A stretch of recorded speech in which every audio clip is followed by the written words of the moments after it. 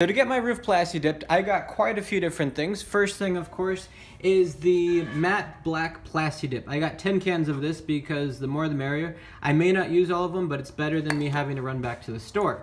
In addition to that, I got four cans of plasti dip glossifier. I picked it up at Lowe's. They don't sell it in-store at Home Depot. There's some other stores that carry it as well.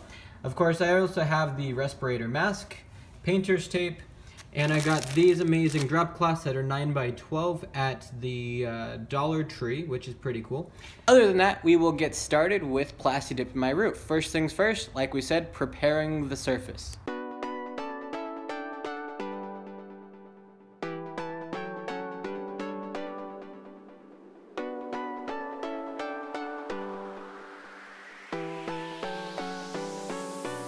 Okay, so now I finished prepping my car. As you can see, I didn't cover everything. I did use newspaper. As a plasti dipper, it's always good to have newspaper handy because I used it for the sunroof. No point to waste plasti dip on that. I did leave a space here though because it is good to have as a little barrier so you have something to peel from. Um, on the side here, what I did was I just took tape and I carefully went along the edge as best as I could to keep a straight line. And I'll show you how to take that off later.